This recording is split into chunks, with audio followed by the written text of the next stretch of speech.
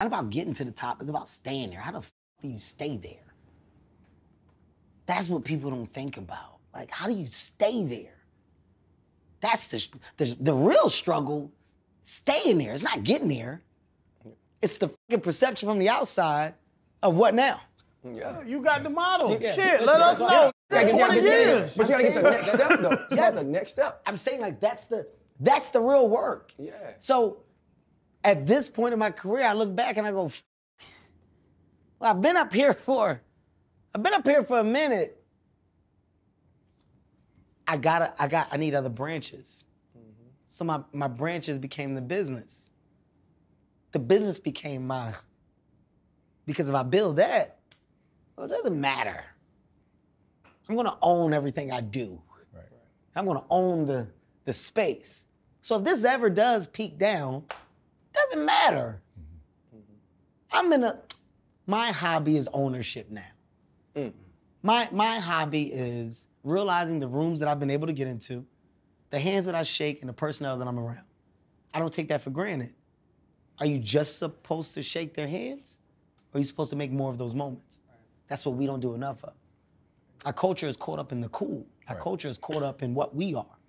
And you don't realize the reason why the other side has worked so long and why they're so successful is because they figure out how to hold on to the handshake. Mm-hmm. They hold on to the handshake. Create, they create Go- more handshakes. keep, Yeah. yeah. do we, Those relationships. we big. don't. Right. we, we minimize the opportunity to grow and be around and be a part because we're so self, so self-involved. I'm the shit. I don't need that shit. Fuck out of it. Right. I ain't cool. Nigga, I got my own shit. I'm, I'm outside. You see my? Yeah, nigga, I got mine too. I don't. Uh, you don't. You don't realize. Right. Where real wealth and opportunities are built. I now do, and my priority is that. So the way you talk about me when I made that decision, my new decision is to focus on that. Star is gonna be my star. I can't get no bigger. I can't. Why would you say that? What else? What else am I gonna do? So I can I can get I can get more artsy. I can change and do other projects where people go, "Wow, he's more talented," or "We had no idea." I'm not gonna get bigger. Wh- wh- Where am I gonna go?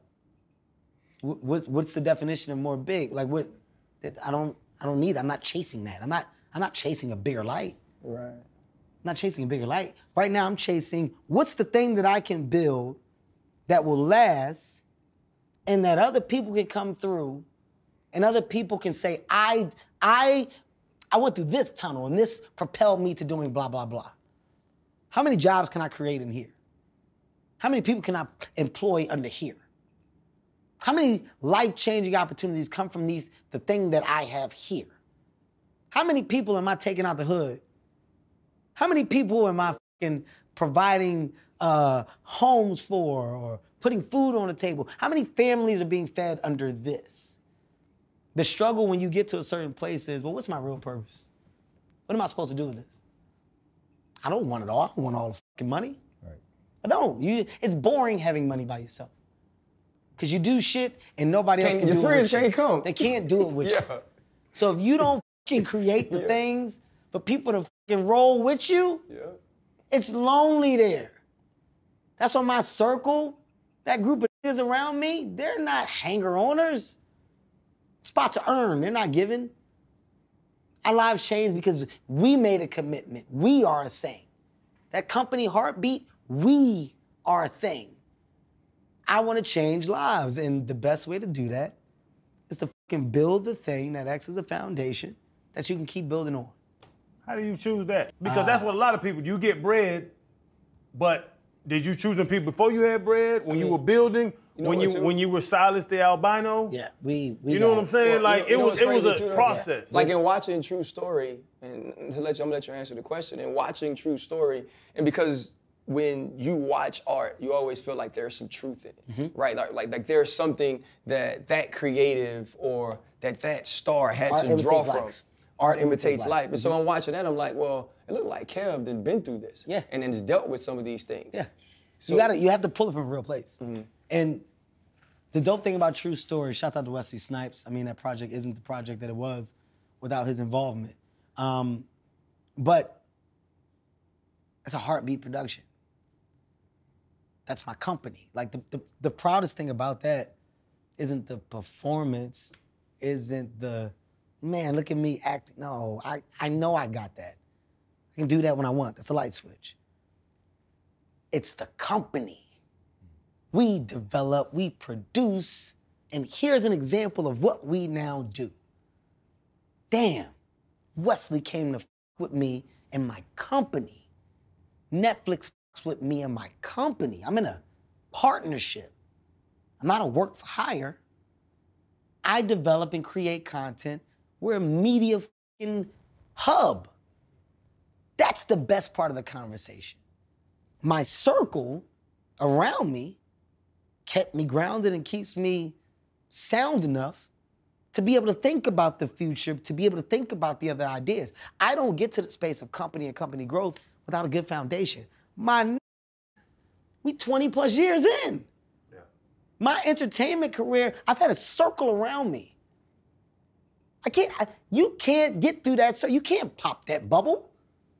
Don't exist.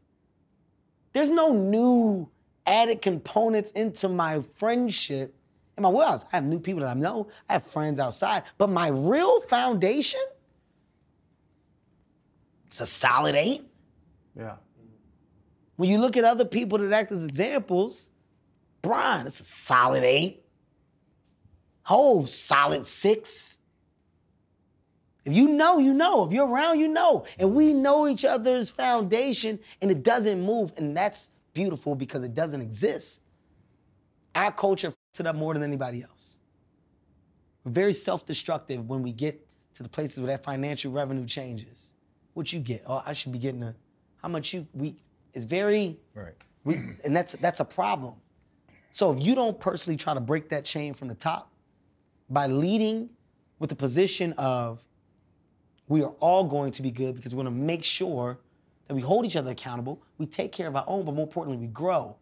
The day that we get into the space of competitiveness, the day that our egos overpower and overshadow the opportunity ahead of us, we lose.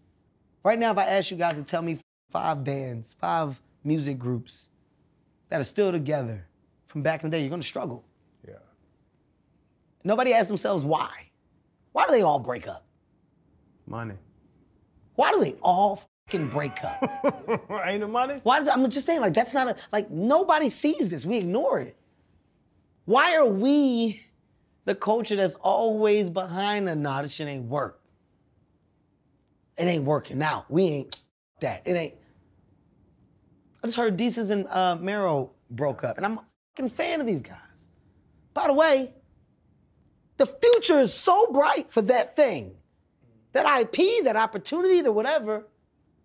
Then I see him going back and forth on social media with like, what, what's happening? What do you, what, why? Why, why can't we ever surpass or overcome the financial hurdles that present themselves and stay, stay connected? Why can't we do that? It's called ego. That's why you remove it. Easier said than done in some circumstances. It's actually not. in some some instances. But but when when people say that, right? When they say it's easier said than done, and the ego, the ego is is very present and dominant, mm-hmm. right? You got to ask yourself why.